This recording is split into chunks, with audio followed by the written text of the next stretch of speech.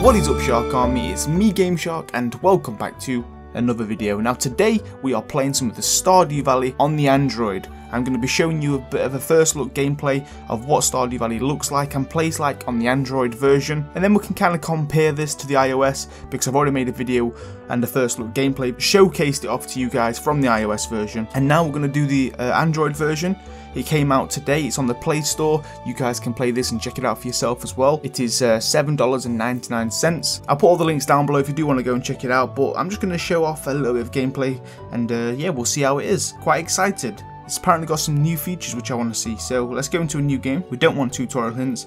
I'm just going to randomize the character. That will do. Okay, so we're on the standard farm. My name's Sharky. We're on the reef farm, and our favourite thing is Pam. Let's just not get into that, shall we? Straight into a new game. We're going to skip all the intros, done the beginning so many times.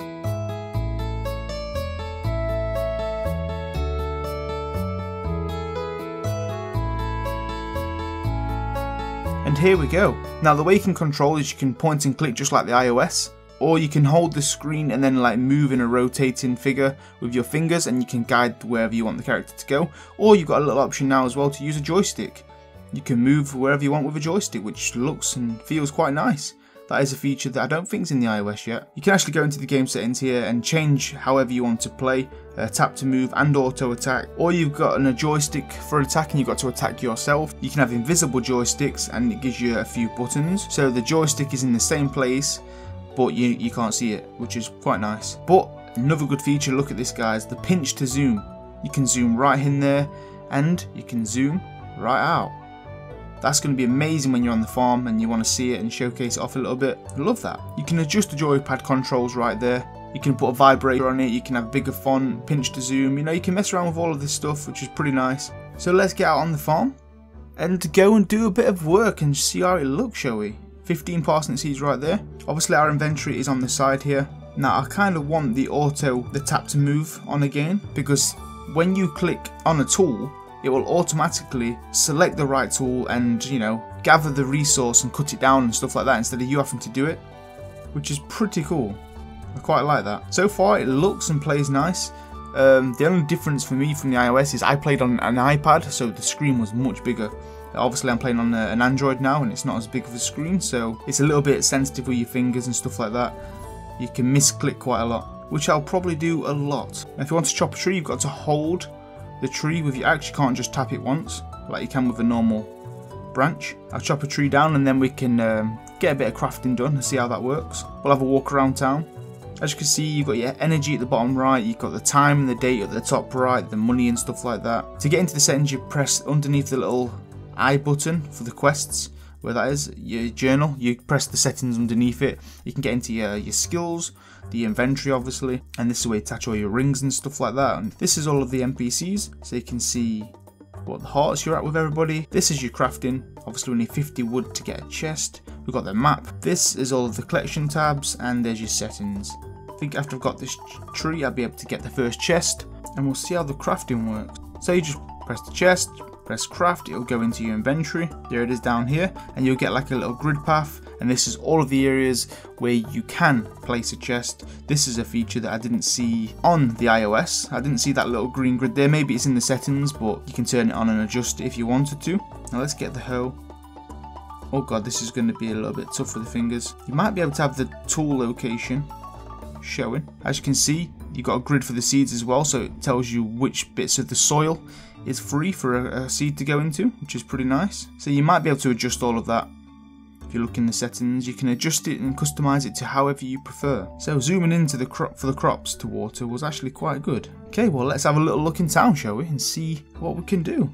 So right now I'm just using my finger and I'm guiding the direction. It's like a joystick, but a big one that fits the whole entire screen, and you can just like move it around and just go wherever you want. Or, like I say, you can just touch on the screen and your character will just go there if you want to be lazy like that. Let's talk to Harvey.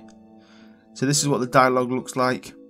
Pleasure to meet you, I'm Harvey, the local doctor. Pretty good, it just fits at the bottom of the screen perfectly like there. There's sexy Jodi. It plays just exactly the same as it would on a PC, apart from you are in more control of how you play because obviously it's touch touch screen, bit more indirect, but it is good. It's, it's a nice way to play the game on the go. The zoom function is amazing. Look at that, you can zoom right out. I really like that. You can literally see so far. And on the farm, once you've made it look quite pretty, and you want to see it like in a bird's eye view, that's going to be pretty good to zoom out like that.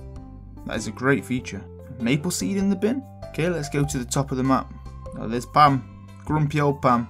Hey kid, the name's Pam. You don't want to talk to her when she's woke up on the wrong side of the bed. This will only be a little bit of a short gameplay just to show it off to you. I'm obviously not playing for it properly. I'm just showing you mainly how it looks and how it plays.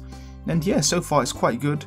Very easy to play. I like the fact that you've got more in-game settings and more controls to customize than you do over on the iOS. Um, so you can literally customize the game to play how you want it to be with the you know the joystick and the auto attack and all of that you can switch between them all. There is a few settings in the ios as well but you don't get the joystick options. You also don't get the pinch to zoom. And i've not seen the grid layout as well which helps you when you want to place things and stuff like that. You can adjust quite a lot in the settings even the way that there's know, the size and the joypad controls if you do want to use the joystick. And I think you can use a controller with the Android as well. If you can use a Bluetooth controller or one that actually plugged into an Android you can play this game using that because that's why the joypad settings are there which is pretty cool. And look at that for a full view of the farm. And the best thing is you can actually rotate the screen and like view off of screen.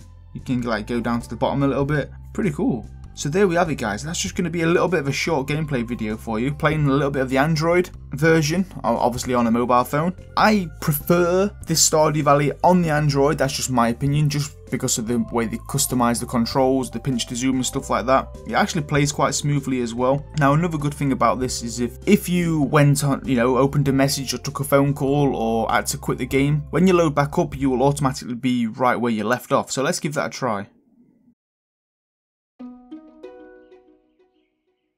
And here we go, you get a box that pops up and it will say, would you like to restore from where you previously left off? You press yes, and it should bring you back where we were. And there we have it, exactly where we were when we left off. Perfect. So that is it guys, the Android version for Stardew Valley. A little bit of gameplay. Hopefully you enjoyed. If you did, hit that like button. Make sure to subscribe if you're new around here as well. But that is all I've got time for. I'll put all the links down below if you want to check it out for yourself. But thanks for watching, and I'll see you guys on the next one. Bye bye.